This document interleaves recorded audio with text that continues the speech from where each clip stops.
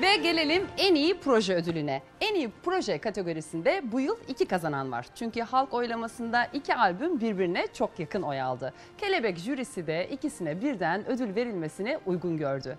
En iyi proje ödülünün ilki Polat Yağcı yapımcılığında Cengiz Kurdoğlu ve Hakan Altun'a gidiyor. Duyanlara, duymayanlara, soranlara, sormayanlara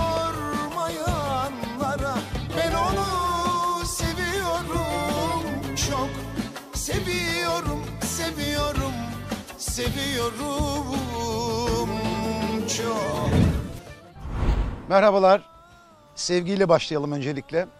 Yaklaşık 25 yıl küsür e, abi kardeşliğimiz olan canım kardeşim sevgili Hakan Altun'la birlikte e, böyle baş başayken bir karar vermiştik. E, bu güzelliği nasıl e, taçlandırabiliriz diye. Sevgili e, fikir babası olan e, sevgili Polat Yağcı'ya da sonsuz teşekkürler ediyoruz. Böyle bir proje çıktı Usta Çırak adı altında. Değerli kardeşimle bu çalışmalarımızı e, Usta Çırak albümüyle taşlandırdık. Sizler de e, bizlere e, bu ödülü layık gördünüz 2019'da e, yılın albümü olarak. Hepinize en derin saygılarımızı ve sonsuz teşekkürlerimizi sunuyoruz. Sevgiyle kalalım, evde kalalım. Hoşçakalın. Cengiz Kurdoğlu benim için e, manevi ağabeydir.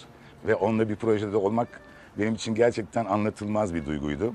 Çünkü düşünsenize çocukluğunuzda dinliyorsunuz. Dinlediğiniz insanla yıllar sonra aynı albümde buluşup siz onun şarkılarını söylüyorsunuz, o sizin şarkılarını söylüyor. Polat Yağcı'ya, Cengiz Kurdoğlu'na ve bu albümde bizi bırakmayan müzikseverlere sonsuz teşekkürler ederken bu ödülü Türkiye'de sanatla uğraşan tüm dostlarım adına alıyorum.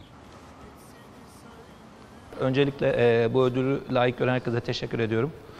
Bu ödül özelinde şu ana kadar yapmış olduğumuz tüm özel proje adına bu ödülü alıyorum. Bu e, ödül benim için çok özel. Yılların efsane ismi Cengiz Kurtoğlu ve Hakan Altun'la yapmış olduğumuz bu proje gerçekten müzik e, tarihinin arşiv niteliğinde bir albüm oldu. İnşallah daha büyük projelerde e, karşı karşıya geliriz diyorum.